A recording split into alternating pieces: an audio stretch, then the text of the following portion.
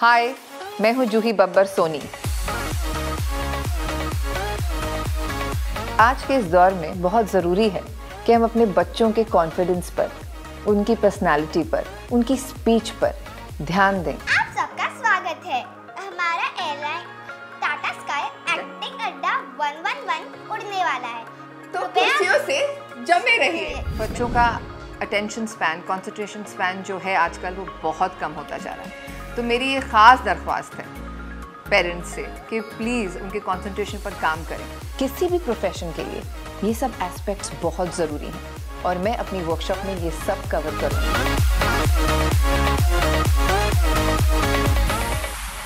आज का हमारा जो टॉपिक है जो विषय है वो है बॉडी लैंग्वेज क्या है? बॉडी लैंग्वेज अब ये बॉडी लैंग्वेज बड़ा अजीब सा शब्द नहीं है। बॉडी क्या बोलती है? नहीं। नहीं बोलती?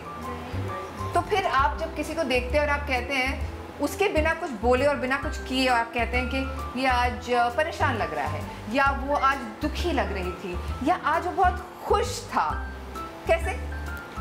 बॉडी लैंग्वेज बॉडी लैंग्वेज तो अभी तो बोला बॉडी लैंग्वेज मतलब बॉडी तो कुछ बोलती नहीं तो फिर कैसे? एक्शन एक्शन एक्सप्रेशन एक्सप्रेशन खड़े होने के तरीके। खड़े होने के तरीके से ओके ये है मेरा दोस्त Vedansh okay Aarab ninth class में पढ़ते हैं। ये सेवेंथ में पढ़ता है। आरब मलाड मुंबई में रहते हैं। ये राजस्थान से आए हैं। बहुत अच्छी बात है राजस्थान से आए हैं मुझे बहुत खुशी है। ये ऐसे रखेंगे और ये क्यों हो रहा है बात करते वक्त? क्यों? क्या वेदांश कॉन्फिडेंट नहीं है? यानी कि हम कैसे खड़े होते हैं? हमारे एक्सप्रेशन क्या होते हैं और हमारे एक्शन क्या होते हैं? आपका ये मतलब है कि उससे पता लगता है कि हम कैसा अंदर महसूस कर रहे हैं। क्या आप ये कहना चाह रहे हैं?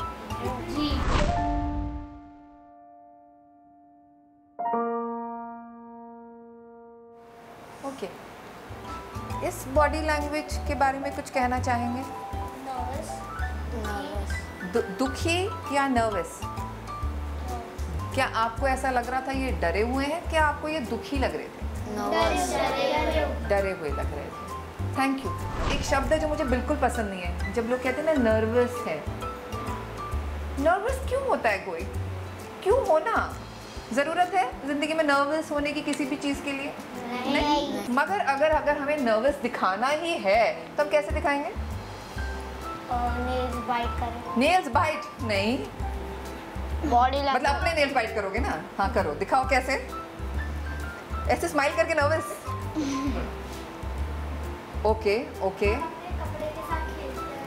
कपड़े के साथ खेलते हैं। मतलब कैसे आप मुझे दिखा सकती हैं? फिजिट अच्छा नर्वस तो बड़ा पता है तुम लोगों को यार। हाँ कॉन्फिडेंस के लिए बड़ा सोचना पड़ा। क्यों ऐसे? प्लीज़ हाँ? नर्वस को उठा के खिड़की से बाहर। आई डोंट लाइक नर्वस शर्माता है, हमारा बच्चा थोड़ा शर्माता है। मुझे इससे सख्त नफरत है। पेरेंट्स प्लीज़ समझिए।